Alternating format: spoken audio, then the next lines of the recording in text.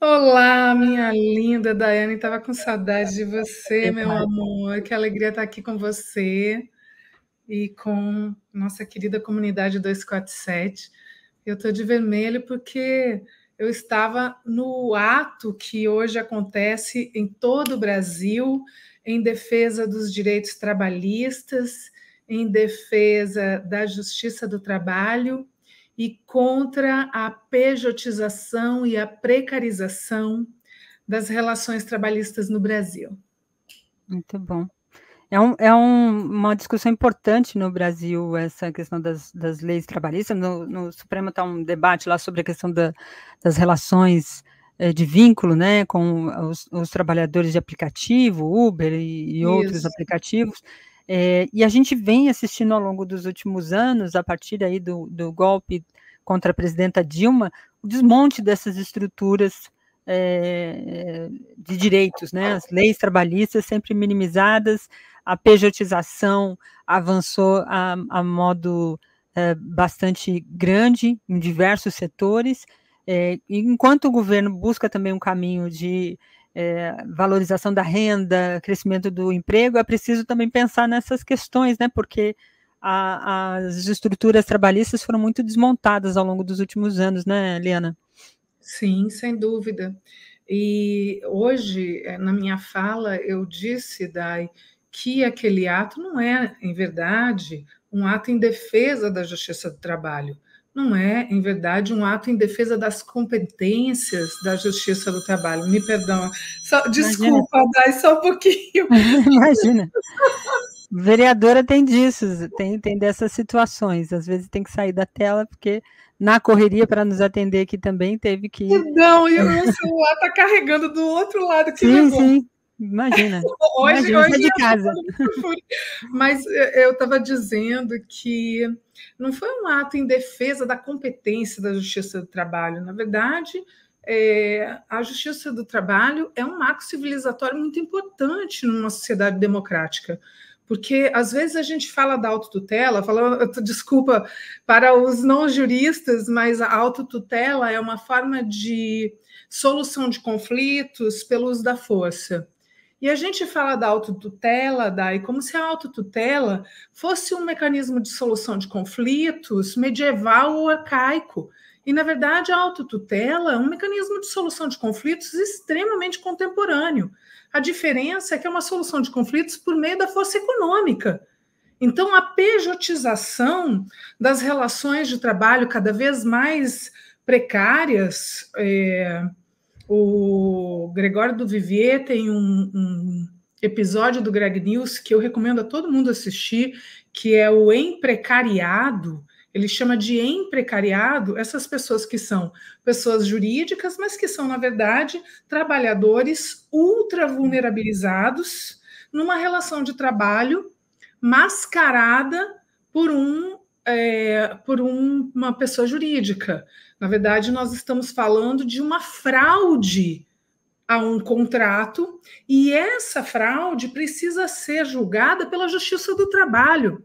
A competência da Justiça do Trabalho está sendo reduzida, minimizada pelo STF, e por isso o ato de hoje, mas, é, repito, não se trata de um ato em defesa da competência da Justiça do Trabalho, mas uhum. sim em defesa dos direitos trabalhistas que nós conquistamos nos últimos 100 anos e em defesa de uma forma de solução de conflito que não seja por meio da autotutela econômica, e sim através do direito, das leis, em que haja condições de negociação minimamente equânimes, porque uhum. senão o trabalhador, disfarçado de pessoa jurídica, através de um contrato que é uma fraude, uhum. se veja completamente é, é, submetido, sujeito a uma relação de trabalho que se parece com uma escravidão contemporânea. É.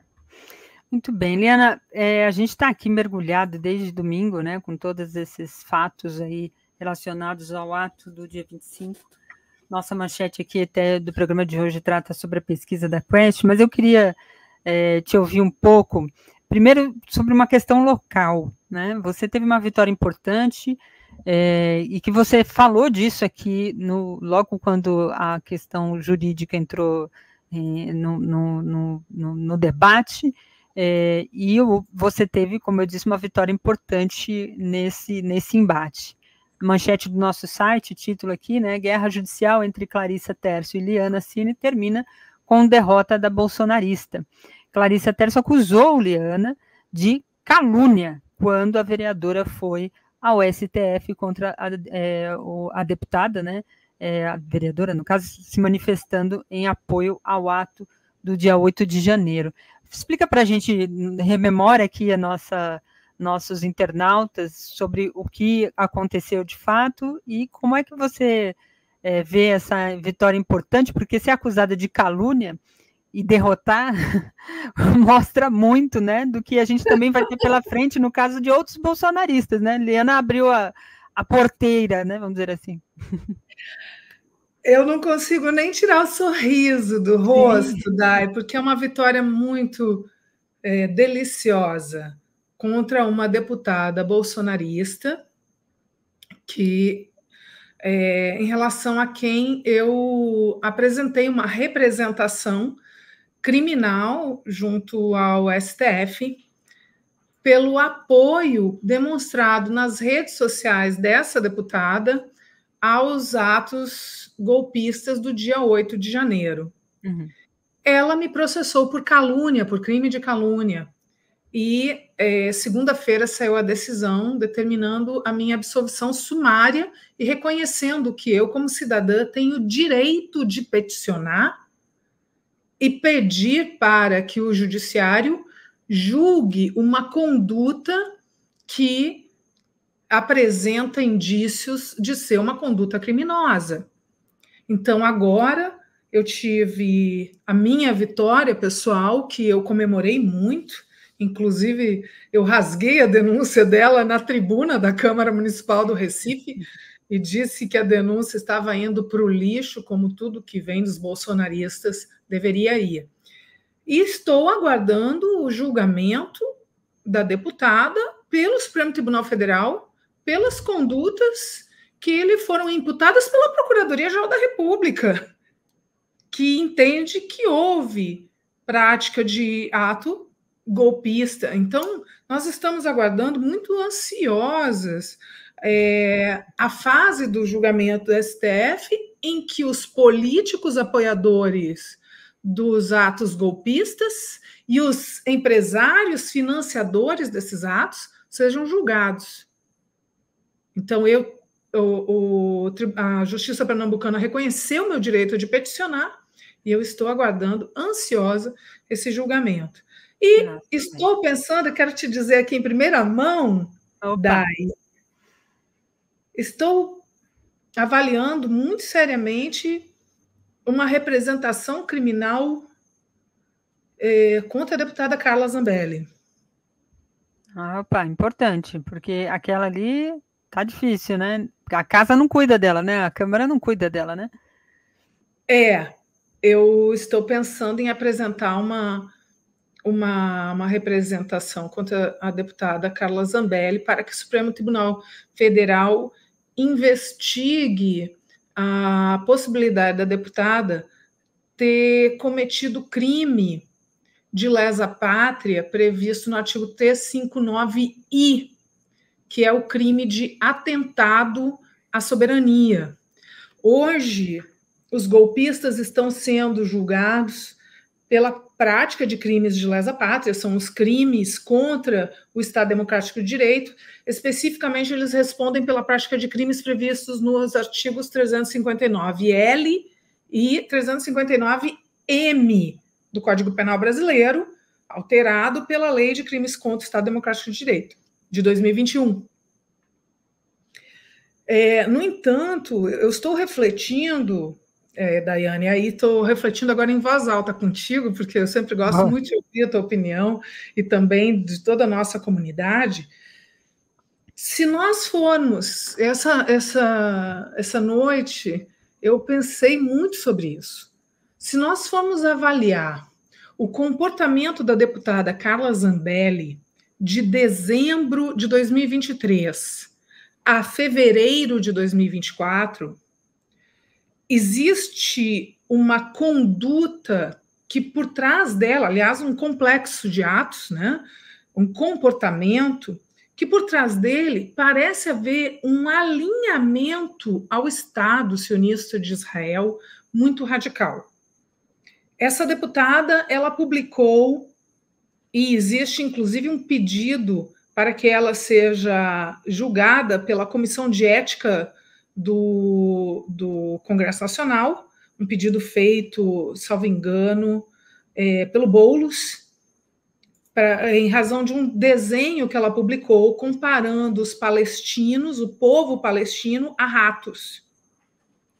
Mas, além disso, em dezembro de 2023, Carla Zambelli é, foi em comitiva para Israel, foi recebida por um representante da Câmara de Israel, manifestou naquela época, em dezembro, solidariedade a Israel pela fala do presidente Lula, outra fala de, do presidente Lula, outra, não a fala é, agora é, que ele fez é, dizendo que era um genocídio do povo palestino.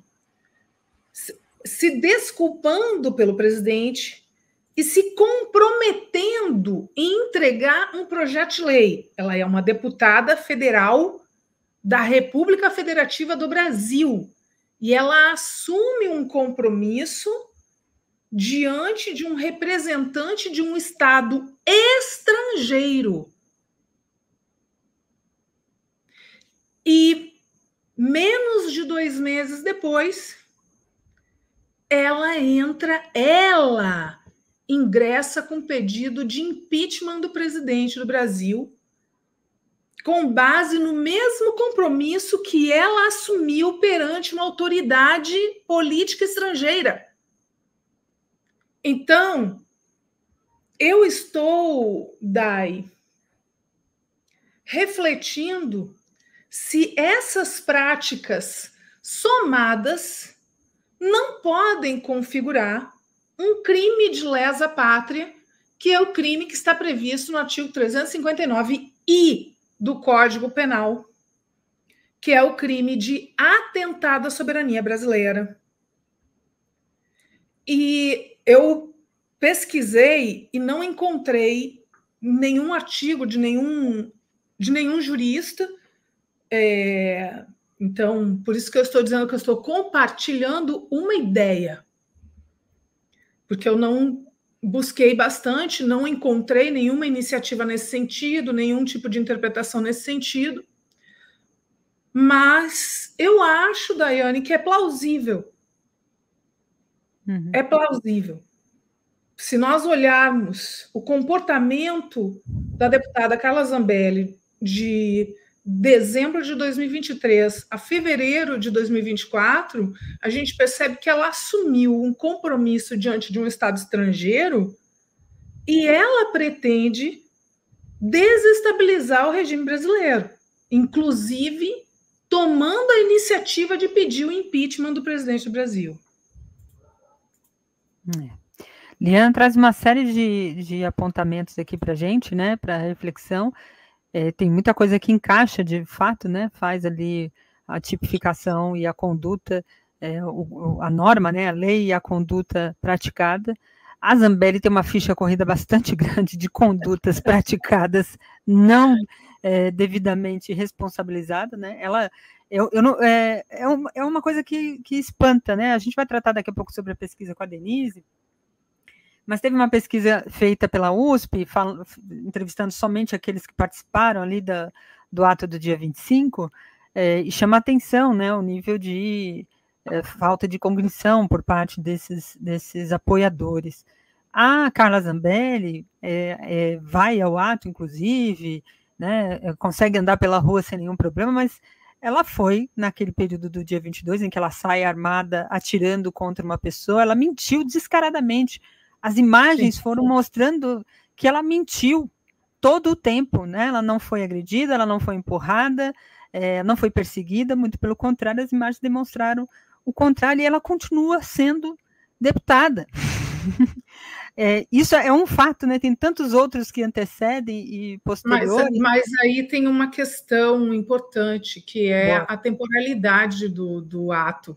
Uhum. É, isso, eu acho que eu acho que nós chegamos, nós duas chegamos a comentar, a conversar sobre isso.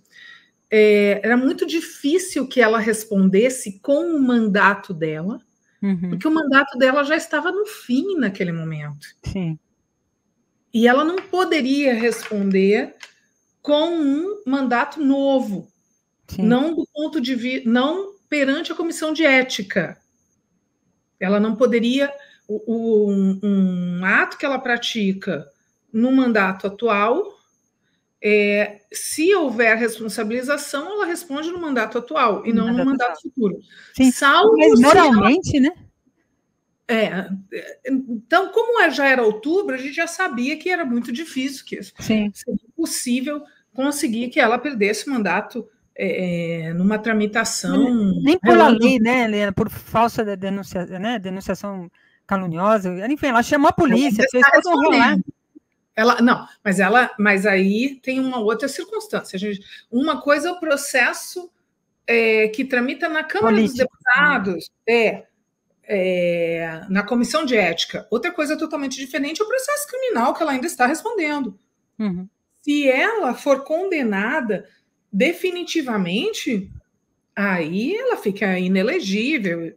Ah, aí é uma série de consequências que é, é, que podem atuar no, é, no, no, mandato atual.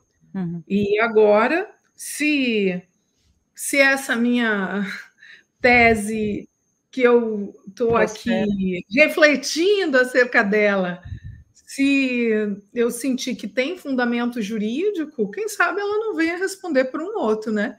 Pelo Sim. crime previsto no 359I. Isso, é, vamos ver. Eu, eu mesma preciso refletir um pouco mais, estudar um pouco mais, mas passei a noite pensando sobre isso. Mas vale.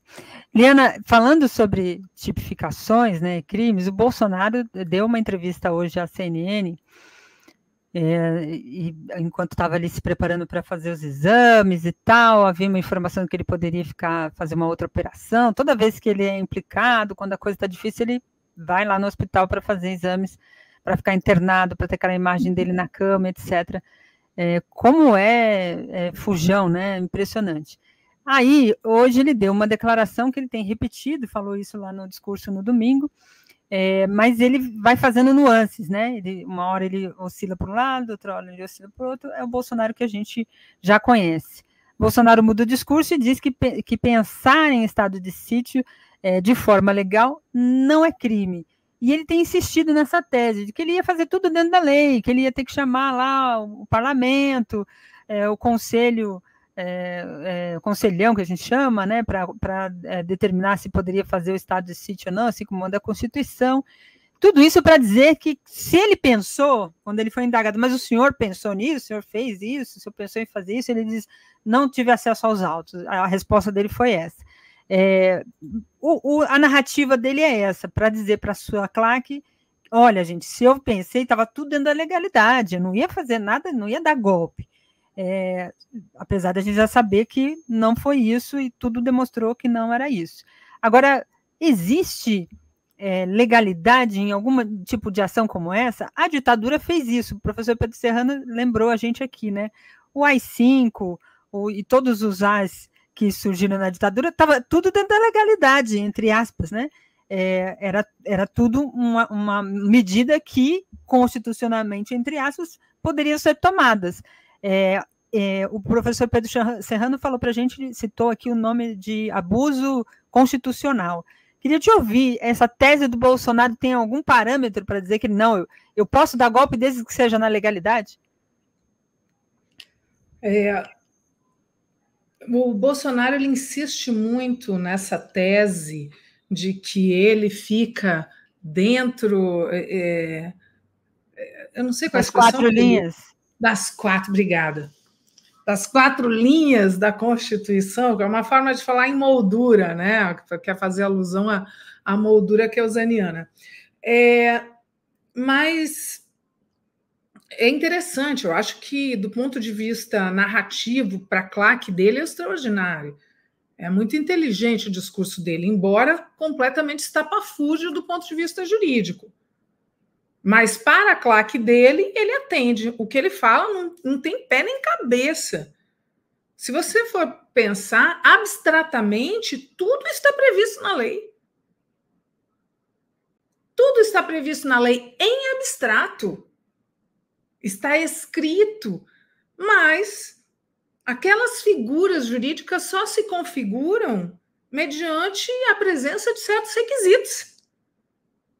E os requisitos são faltosos. Não há, não ocorreu nenhum requisito que pudesse, por exemplo, é, é, justificar um estado de sítio previsto na Constituição. Isso é delírio. A menos, é claro,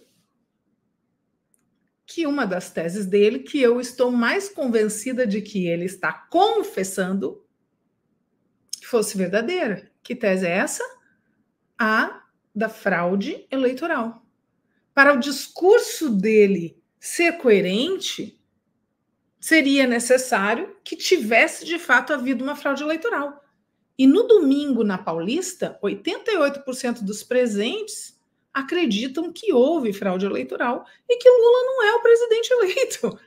Acreditam que Bolsonaro ganhou a eleição. Eles acreditam que o sistema eleitoral é fraudado.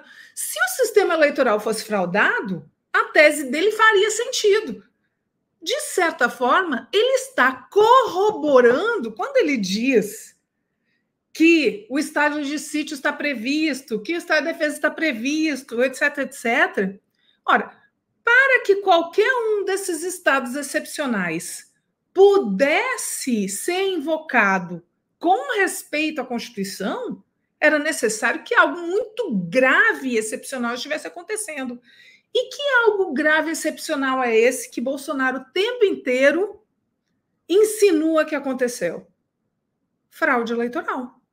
Mas é exatamente por ele alegar que o sistema eleitoral é fraudulento, que ele está respondendo por crime de lesa pátria e por crime de tentativa de abolição violenta do Estado Democrático de Direito.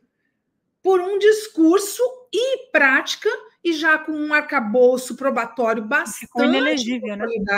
bastante consolidado, de que ele descredibiliza o sistema eleitoral brasileiro e Pronto. ele fez uma confissão na Avenida Paulista. Ele fez três confissões, mas a mais grave foi a que foi menos comentada, na minha opinião. Não sei, você pode até me, me, me contradizer aqui, mas eu tenho a impressão, Dai, de que o aspecto do discurso de Bolsonaro na Paulista, que foi o mais. É, o mais analisado foi aquele dele é, de fazer alusão à minuta do golpe, em que as pessoas estão dizendo que ele ali teria confessado o conhecimento da minuta do golpe. Aí tem duas questões. Uma, que é um argumento de defesa que é extremamente razoável, que quando ele faz referência à minuta do golpe, é, ele não faz alusão temporal. E aí a defesa se manifestou dizendo que ele só teve conhecimento é, da minuta do golpe através dos autos do processo. Só que agora, Dai, você me disse uma coisa que me deixou estarrecida. Eu, eu, é, eu não sei se eu estou conseguindo ser muito didática e sistemática. Eu gosto muito de ser didática e sistemática, mas a gente está falando de muitas coisas ao mesmo tempo. Né? Então, só para só pensar, o tema que foi mais comentado foi o fato dele Sim. ter feito referência à minuta de golpe. Eu não acho que esse foi o ponto mais importante. Eu acho que esse foi o menos importante, porque ele não fez uma referência temporal e essa referência temporal ela era necessária e nesse sentido a defesa de Bolsonaro ela está correta ao dizer que é, ele poderia ter tido conhecimento da minuta do golpe depois através dos autos do inquérito da Polícia Federal, certo? Até aí, ok, é é um argumento razoável. Só que você disse agora uma coisa, eu não tinha visto a entrevista de Bolsonaro à CNN. Eu vi a revista Oeste, mas a CNN não. E você trouxe um elemento muito importante, que configuraria em tese uma contradição da defesa de Bolsonaro. Ora, se ele só soube, isso foi a tese da defesa de Bolsonaro, se ele somente soube da minuta do golpe depois que ele teve acesso aos, aos autos do inquérito na Polícia Federal, como é que a defesa, como é que o Bolsonaro diz que ele não teve acesso aos autos da Polícia Federal e não viu a minuta que estava lá? Aí a gente já tem uma contradição. É a defesa dizendo uma coisa e Bolsonaro dizendo outra. E essa contradição é importante. Qual é a confissão que eu acho que realmente é importante? É quando o Bolsonaro diz aquilo que aconteceu lá em outubro de 2029. Quando ele diz aquilo que aconteceu lá em outubro de 2029, ele diz que ele não reconhece a eleição. Então, ele continua sustentando que não houve eleição. E a descredibilização do sistema eleitoral é fundamental para a configuração de todos os tipos jurídicos que a gente está discutindo em relação à tentativa de abolição do Estado Democrático de Direito. Não sei se eu consegui sempre, me sempre. entender. Não, super. É importante dizer, né, Eliana, que esse comportamento do Bolsonaro em relação às urnas é justamente porque ele não apresenta provas, ele faz toda uma insinuação, mas não apresenta nenhum indício, nenhuma coisa que sustente, inclusive quando ele estava no governo. Porque às vezes vem os bolsonaristas aqui e falam, ah, não tem liberdade, não pode questionar. Vocês podem questionar, só que apresente provas. Você não pode sair falando, ó, oh, fulano roubou, sem ter prova de que roubou.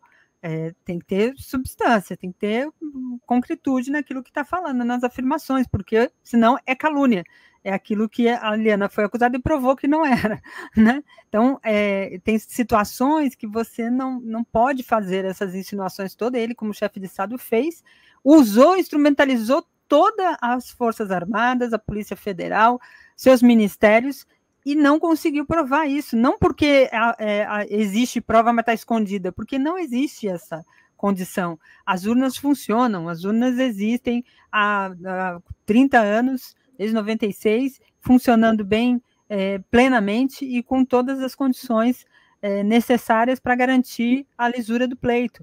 Né? O, o, o ministro Alexandre de Moraes falou no, na, na, aula inaugural né, de que às vezes ele está fazendo exercício na academia, chega alguém, por que, que você não libera o código-fonte? Aí ele, com muita paciência, levanta e diz: olha, o código-fonte, você sabe o que é o código-fonte? Aí a pessoa não sabe dizer o que, que é, só diz apenas que é lá uma chave que define as eleições. Ele diz esse código é liberado para todas as instituições um ano antes. Então, sempre foi liberado. Então, essas, essas situações que as pessoas é, vão entruxando aqui as, as, fake news e não conseguem nem explicar o porquê que é, né? uhum. né? Como é que é a coisa. Diante disso que a gente está falando aqui, vou, vou, ler alguns comentários nossos internautas, aproveitando bem a, a participação da Liana aqui. Tem é, o Solói Braga, tá dizendo, é, fui removida. Não, você está aqui e é, e é, membro, tá? Tá bem clarinho aqui para mim, então fique tranquilo. É, Carlos é, Alberto Veloso Lopes, ouvir a, a, guerreira Liana é receber uma aula de direito e de é, brasilidade, né? Com esse sotaque todo que ela tem. Então, beijo aqui para o nosso internauta, obrigado pela contribuição. A Sônia Nobre endossou ele aqui, dizendo: concordo, nossa querida professora Liana Cine, grande é, defensora da democracia, diz aqui a nossa internauta. A Lia é, Lameu diz aqui: Liana, vivo em é, com a expectativa né, do dia que esses golpistas e o genocida paguem pelos seus crimes. Essa ansiedade não pode nos atropelar, né, Eliana? Porque tem todo um devido processo que deve ser seguido. O presidente Lula falou sobre isso, né? é, quando questionado pelo, pelo Kennedy Alencar sobre é, a, aos atos, né, ele disse, ó, foi um ato bastante grande, né, tinha bastante gente. É, isso não muda nada, né? Quer anistia agora? Como é que você vê essa proposta também de anistia feita pelo Bolsonaro? Vamos passar uma borracha e tal, e está lá na, na Câmara transitando esse, essa proposta, né? Você acha Sem que há espaço para isso? Não, não há. Já foi julgado. É mais uma. É, a proposta de Bolsonaro, eu acho, não é à toa que a Polícia Federal pediu é, que a transcrição de trechos do discurso de Bolsonaro fossem é, anexados aos autos do inquérito Tempos Veritatis. Eu acho que juridicamente Bolsonaro disse muitas coisas prejudiciais à defesa dele, muitas coisas.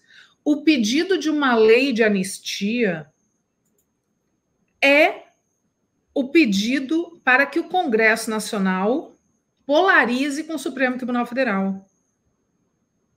E um Estado democrático de direito tem que ter é, os seus poderes com as suas atribuições bem delimitados.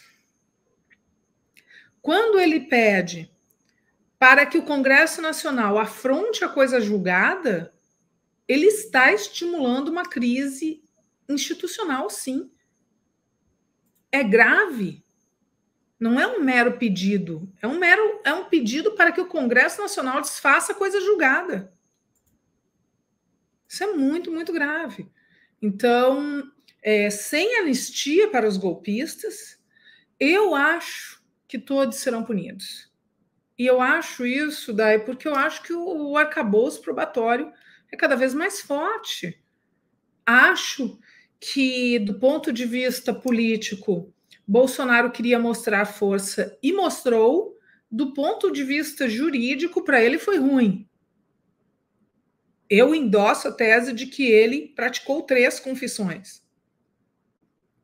As três são ruins para ele. E agora eu quero ouvir essa entrevista dele à CNN, mas pelo que você disse, ele contradisse a defesa. Né. Então a defesa do Bolsonaro está enxugando gelo, porque toda vez que ele abre a boca, ele confessa um pouco mais. E ele próprio contradiz os, os, os seus advogados. Ah, não, é nem a, não é nem a PGR que contradiz a defesa do Bolsonaro, é o próprio Bolsonaro que deixa os advogados dele sem.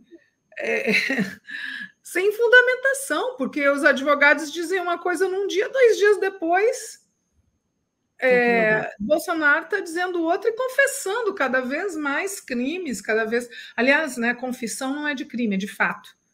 As uhum. pessoas confessam fatos. Bolsonaro confessou fatos e fatos que são ruins, que se somam ao arcabouço probatório, que, na minha opinião, já é sólido para ter a condenação do Bolsonaro. Então, eu acredito na condenação do Bolsonaro e acredito na condenação dos empresários e dos políticos que é, facilitaram a tentativa de golpe que teve uma culminância no dia 8 de janeiro, mas que poderia ter acontecido antes. A gente não pode associar o golpe exclusivamente ao 8 de janeiro.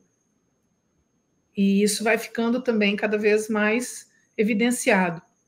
Houve uma série de tentativas, o 8 de janeiro foi uma culminância que, é, é, em que os poderes se reuniram para dizer basta. Uhum. É? Então, eu, eu acredito na condenação de Bolsonaro, sim. Eu também.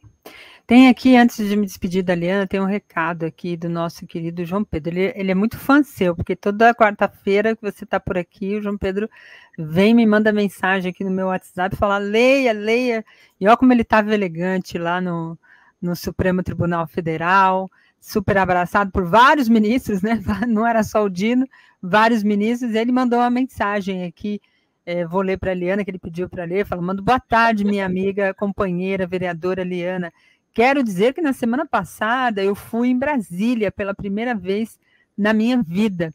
Agora parece que eu vou em Brasília novamente, porque eu fui convidado né, para a quarta Conferência Nacional da Cultura, que será realizada nos dias 4 e 8 de março, já fazendo aqui a convocação também, né, João Pedro? E aí ele diz aqui, só felicidade e orgulho, estou é, me é, tornando uma liderança autista muito importante. É, eu vou longe, diz ele, eu, o que eu mais admiro, uma das coisas que eu mais admiro no João Pedro é sempre essa determinação, características daqueles que lutam, né, daqueles que sabem que a luta vale a pena. Esse é o João Pedro, né, Liana? Ai, João Pedro, mora no nosso coração, querido. Ah, eu fiquei muito feliz vendo, vendo, você com o ministro Dino. Quero saber se você deu meu abraço, ministro Dino, hein? Meu amor, tenho muito orgulho de você. Nós todas temos muito orgulho todas. de você. Todas. Obrigada pela sua luta. É isso. Liana Senelins, obrigada sempre pela sua participação. Bom trabalho, boa luta aí. É, Recife está no momento de, de, caminhada aí também das, das uh, candidaturas, pré-campanhas e tal. Acredito que você já na semana que vem vai trazer um pouco mais para a gente. Você também é pré-candidata, certamente, à reeleição.